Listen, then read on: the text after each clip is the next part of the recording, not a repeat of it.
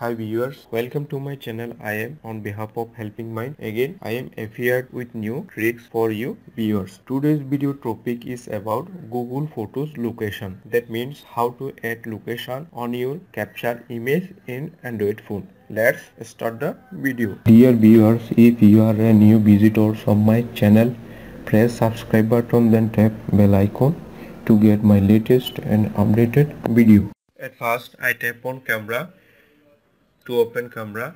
Now I will capture a picture randomly. Now I view the picture.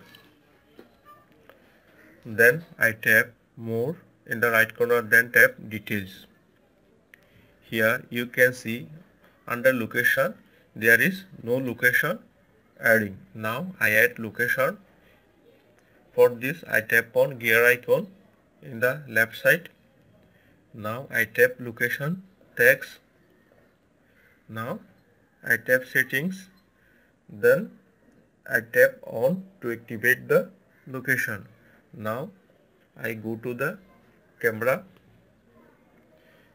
Again I capture a picture. After capturing I view the picture. Now I tap more then tap details. Here you can see under location.